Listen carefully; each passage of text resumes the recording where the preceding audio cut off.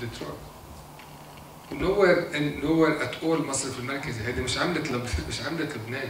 هيدي عملة مخت... عملة أجنبية. لا بيعرف بالدولار ولا باليورو ولا بالسترليني ولا بالدرهم ولا ما له علاقة. هيدي علاقة تعاقدية بين مصرف وزبون. على الإطلاق ما بيعرف فيها ولا لازم يعرف فيها بسبب السرية المصرفية.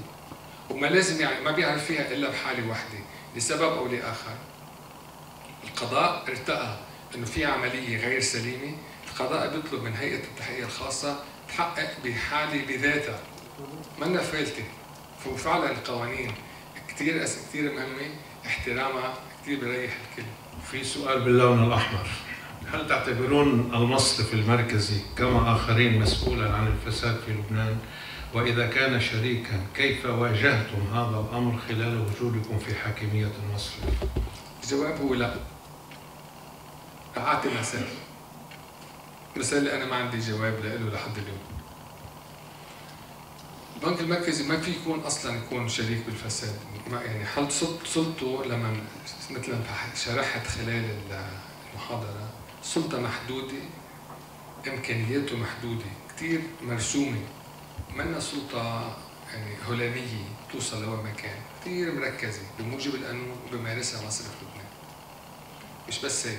في حدا في oversight فوق مصرف لبنان اللي بيشرف على كل قرار من قرارات البنك المركزي تحديدا المجلس المركزي. فسرتها يمكن للبعض بدي اكررها البنك المركزي منه فالت مؤسسة تمتثل للقانون بشكل من أكثر المؤسسات امتثالا والتزاما بالقانون. بس ياخذ البنك المركزي أو المجلس المركزي هو البورد قرار في حدا اسمه مفوض الحكومة لدى مصرف لبنان. مفوضي الحكومة بتعين من قبل الحكومة تحديدا من وزارة المالية يشرف على كل قرار من القرارات. وإذا في أي أي خلل مع القانون بيوقفوا أنا بعد خلال عشر سنين اللي كنت فيها ما كان في ولا مرة توقف أي قرار. هيدا المدير العام برتبة مدير عام مش أي موظف يعني. هيدا المدير العام يشرف عليه. في عنده موظفين تحت إيده بيقدروا ينتشروا بيقدروا ينتشروا بالمصرف المركزي ويفوتوا على صناديق البنك المركزي ويشوفوا ال books تبع البنك المركزي براحه وبدون أي control بياخذوا التقرير بيبعتوه لوزارة المالية.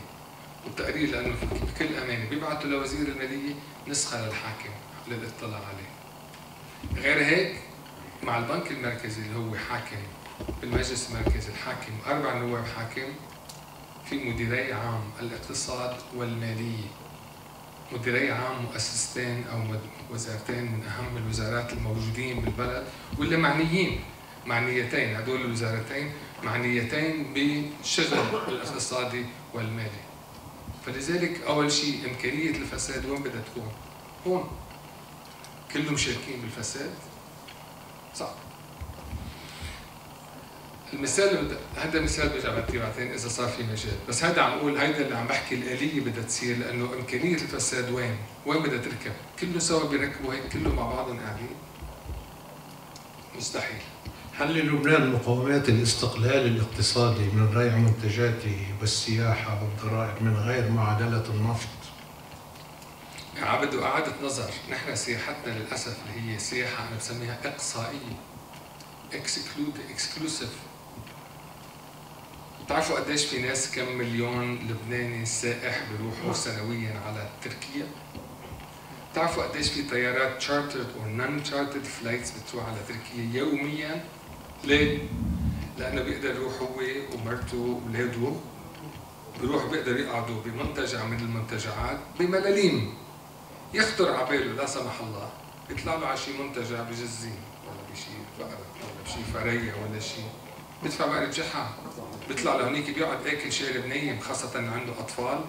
البحر موجود وال open buffet موجودة كل النهار أكل وشرب وتسلية وشي من literally hundreds of dollars مش بس هيك بيتبضع. نعم. وبيزرع شعر بيزرع شعر. بيتبضع.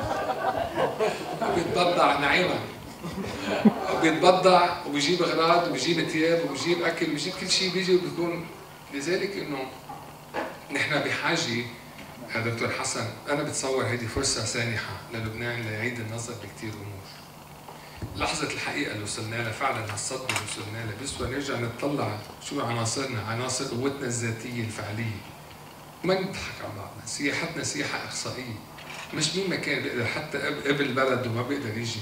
ومن برا حتى الخليجيين ولا كانوا الخليجيين معتمدين على الخليج؟ لا كمان الخليج مش كله والله يعني.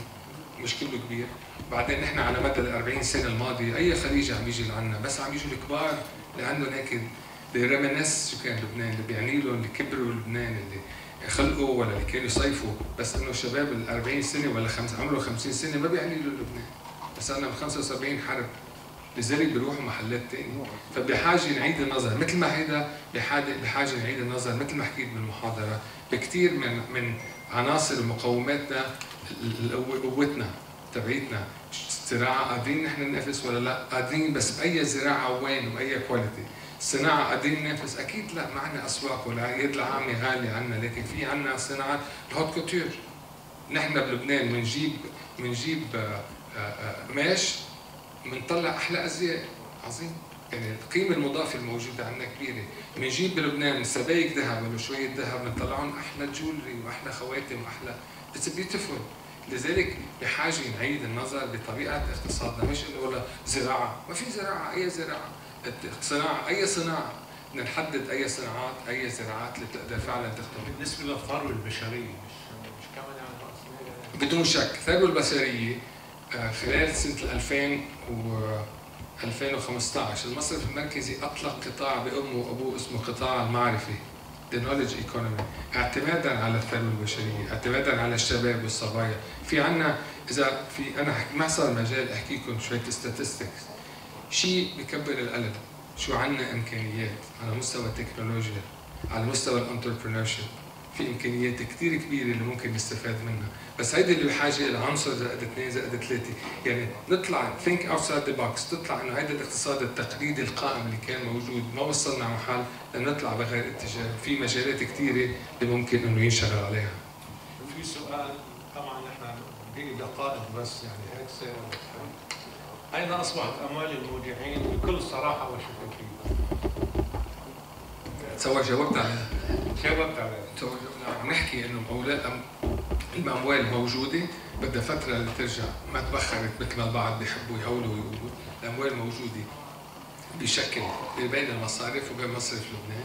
وخلال الفترة بترجع له شيء قدام شيء الفوائد الفوائد العالية التي قدمتها المصارف والبنوك اللبنانية للمودعين والتي فاقت أرباح الفوائد ارباح الفوائد من القروض التي قدمتها المصارف للدولة. أليست هذه عملية احتيال كلاسيكية من نوع من نوع سلس؟ لا أبدا. هذا الموضوع أساسا آه، كانت مصارف كانت مكرهة أنه هيك قرار بهذا الشكل. ما حدا بينبسط أنه يعطي فوائد بهالشكل العالي إذا بتطلع على تاريخ الفوائد أين بلشت بشكل عالي من تاريخ تشرين ثاني 2017 وقت كان الرئيس الحريري صار معه بإحدى الدول الشقيقة صار معه حادثة معينة واضطر أنه يستقيل على أثرها هونيك هالخضة اللي صارت آه، بلشت تزيد الفوائد بشكل كبير. تزامن مع إذا بتطلعوا حتى تاريخيا تطلعوا بتلاقوا ال emerging markets كل الأموال صارت تطلع من ال emerging markets تطلع باتجاه الاقتصاد الأمريكي ولا الصيني عم تطلع برا. فعم بصير يعني في sucking of liquidity من من بشكل أو بآخر. المصارف حتى تبقي الودايع عندها. صارت تعطي الفوائد العالية. طبعا هذا عن الهندسة المالية حكينا عنه بعد الترحيب لا حكينا عنه بعد الترحيب بالضيف الكريم مع ازدياد الحديث عن الهندسة المالية وتصريف وتعريف مختصر لها نعم. وما مدى تأثيره على الواقع المالي والاقتصادي اللبناني؟ كثير منيح. ما حكينا عن الهندسة المالية. انتبهت وحدة من الأسئلة اللي حكى هندسة إيه. مالية فهلا. الهندسة المالية هي آه، ما شغلة جديدة بالاقتصادات بس تحديدا بلبنان. خليني للحظة أعطيكم background بالأول وترجع أفسر لكم شو الآلية بتعرف شو؟ لكم شو هي الآلية هي عبارة عن swap صارت swap بين المصرف المركزي وزارة المالية والمصارف exchanging papers لسوابات من أجال طويلة لأجال قصيرة. عم تاخذ ال future من ال future value لل present value بتجيبها لهون. إذا كانت بال 2030 عم بتجيبها لل 2016 بهذاك الوقت. عم تعطيهم إياها. عم تقدع عم هذا اللي عنده آجال سند هالقد بعيد. المصرف المركزي بيعطيه مصريته هلا بياخذ نص ارباحه هيدي كآلية عم بتصير. أما ليش صارت؟ لأنه إذا بتطلعوا بال 2016 بتحبوا تعدوا معي؟ لأنه عيشت عدوا معي. واحد فراغ رئاسي. اثنين 30 رئيس حكومة ثلاثة مجلس نيابي ما كان فاعل. أربعة داعش بنص قلب بلدنا. خمسة ميزان مدفوعات سلبي بشكل بشكل تراكمي بشكل كثير كبير. trade balance وما ما ما ما تحط يعني حدث ولا حرج.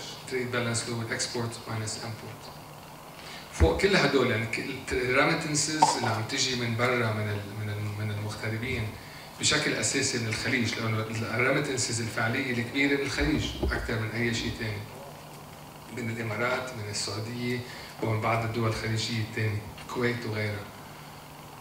طبعا مش معناتها ما عم يجي مصاري من هون ولا من أفريقيا بس طبيعة التحويلات اللي بتيجي من هذيك البلاد much more direct لذلك it's quantified بسهولة أكثر. كل هدول سميتهم خمسه ستة إضافة لكل هدول ب 1 1 2018 كان مفترض إنه المصارف اللبنانية إن تم وكل المصارف العالمية تمتثل لشيء اسمه IFRS 9 International Financial Reporting Standards 9 اللي بموجبها مفترض انه المصارف يكون عندها حجم رسملي معين ولا ما بعود ال correspondent banks يتعاملوا معها.